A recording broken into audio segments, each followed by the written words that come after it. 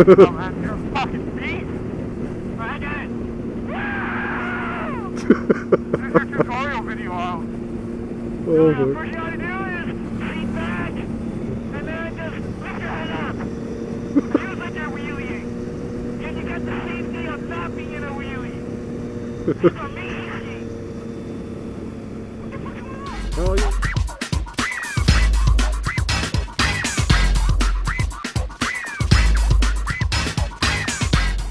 What's up, guys? TekNinja 81. Uh, just left the group ride. Uh, was out with Pikua and a couple other, uh, couple other riders. Uh, most of them aren't really vloggers. A couple of them might get into it. Uh, it's starting to rain, as you can see here, so uh, decided, well, enough is enough. Time to head home.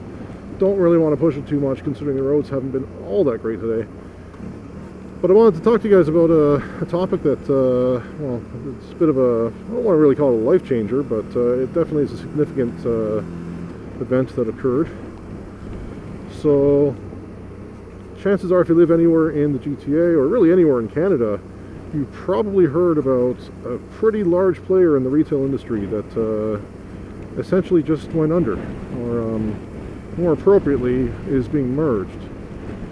Uh, if you haven't guessed already, I'm talking about Future Shop. Why am I talking about Future Shop? Well, as I've mentioned in a few of my videos, I've worked retail for a good portion of my life. And that is where I had been working for the past half year.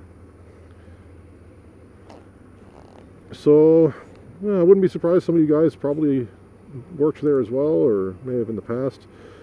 But essentially, what happened was um, we have our quarterly meetings they're usually on a Sunday morning, you know, 8, 9 o'clock, something like that. Uh, this time, though, they scheduled our meeting for a Saturday. It had been a Sunday, and then they said, no, you know what, we have to do it on a Saturday instead. A couple of us were thinking that's a little strange. They've never done a quarterly meeting on a Saturday in uh, all the history of the company, that some of the guys were saying, at least, anyways. So we were a little concerned, thinking, okay, this seems like there might be something big going on. Um, some of us thought maybe it was going to be a change to the pay structure, maybe there was, I don't know, management change or something like that that was going on. And you know what, a couple of us actually did think, you know what, there have been store closures, maybe they're going to be closing more stores. Well, obviously that was our closest guess.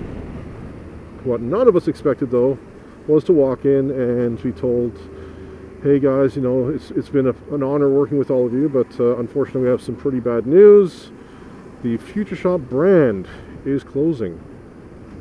Best Buy would be absorbing and merging some of the Future Shop stores into its company. The rest of them, mine being one of them, would be closing permanently. What a bloody shocker. None of us, none of us were prepared for that. I felt so bad, man. My GM, he was up there in front of us all, and you could tell, like, they obviously had to have told them something, probably, and at least a little bit of notice, but the poor guy, man. He looked like he was about to burst into tears. And, and, I mean, who can blame him? He's, he's telling his whole team, his family, essentially, hey, sorry guys, but we're, we don't exist anymore. How do you deal with something like that? And the thing is, like I said, this is Future Shop. This isn't some little mom and pop shop. This is a major, major chain that's been around for decades. But the truth of the matter is, if you guys haven't noticed, a lot of Future Shop stores actually have Best Buy stores very close to them. Some of them literally across the street or in the same shopping plaza. In my case, my store had one right across the street. So realistically, there just wasn't really much point keeping both of the franchises or, the both of the companies around when uh, they're you know they're everybody pretty much knows they're the same company. Best Buy came into Canada I think around 2001 or so, and at that time they took ownership of Future Shop. It had been said back then that within a matter of months to a couple of years, it was ex expected that Future Shop would cease to exist. So, Jesus Christ. So realistically, they probably did us all a favor by keeping us around for 14 extra years, uh, longer than they were really expected to. I guess, you know, it was inevitable. It was going to happen sooner or later.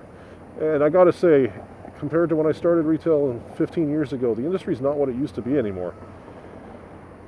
I mean, you know, obviously 15 years ago, the internet was not such a big thing. Not everybody was advertising and selling online. You couldn't just, you know, click and order from your, uh, from the comfort of your own home. You still had to, you know, at some point come into the stores and deal with a live human being and actually see your products.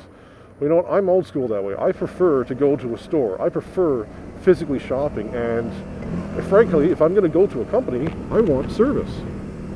Uh, and you don't really get that from online. Yeah, okay, it's convenient if you know exactly what you want, and maybe it's going to be a bit cheaper. But if you're making a major purchase, it's nice to actually know that there's a human being that's going to be there to help you, and that maybe if you need a little bit more advice, there's somebody that can kind of point you in the right direction. You don't get that when you shop online. Yeah, okay, you can go to the forums, you can check the review sites. You know, there are certain avenues that you can take but it doesn't compare to the retail experience. It doesn't compare to, to face-to-face service. And it is sad that we are slowly losing that. It is sad that people now choose to just uh, use whatever online resource they can and, and actually avoid the human contact that we used to be so proud of. And I mean, it's sad. Look at uh, look at some of the big companies. Uh, like I said, Future Shop is gone. Uh, Target Canada went under a couple months ago. Um, now, um, uh, what's it called?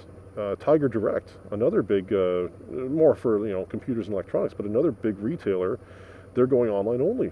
They're shutting down their stores. I think both Canada and U.S. I know at least Canada, but yeah, they're just going to have an online presence from now. Future Shop doesn't even have that much. They're they, they've been absorbed by Best Buy. If you go to the Future Shop website, if you open up the app, it just redirects you to the Best Buy app or the Best Buy website.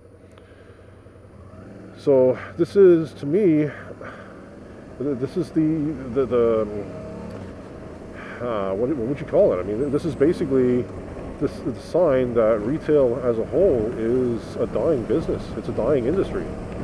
And you know what? It scares the hell out of me. It's all I've done for 15 years. Yeah, okay, I do computer repairs and stuff like that as well. I'm into technology. There are alternatives for me, but my comfort zone has been customer service, retail.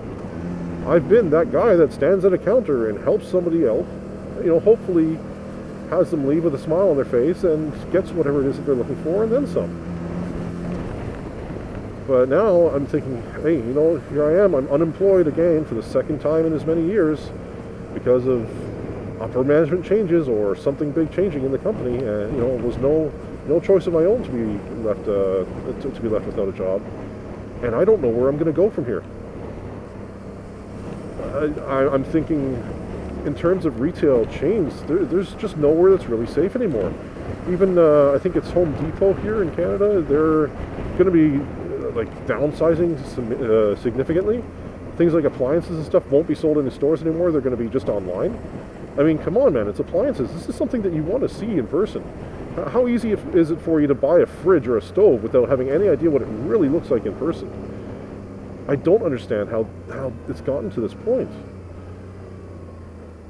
And I mean, anybody that's worked with me knows I am a customer service driven person. I believe that everybody,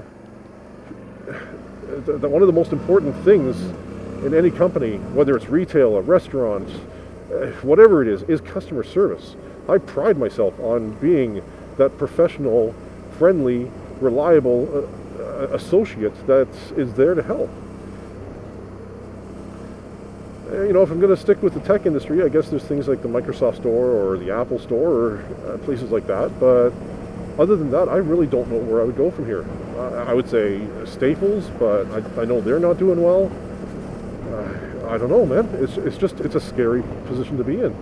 I may be looking at changing my entire my entire career hey, maybe that's a good thing. I mean, retail's not exactly, it's not always the most fun thing to be in, really. And like I said, it has been 15 years, but it's all I've ever done.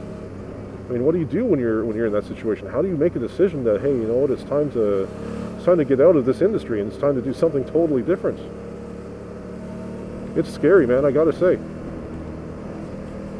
But how about you guys, man? Any, were any of you in the same situation as me? I'm sure there must be some of my viewers out there probably that uh, that were Future Shop employees. Well, guys, if uh, if so, I hope you're all doing well. And I mean, uh, you know, hopefully there's a bright future for you and you've got some plans. Um, as usual, guys, please, if you like the video, click that like button. Uh, if you haven't already subscribed and you like my videos, please, it'll help me out a lot as well if you want to subscribe. Uh, but leave me a comment, send me a message. I'd love to hear from you guys. And uh, happy 2015 maybe not the best start of it. Uh, well, it's not the start, but you know, hasn't been the best so far for me, but uh, things can only go up, right? All right, guys, that's it for now. Ride safe, ride smart. Peace.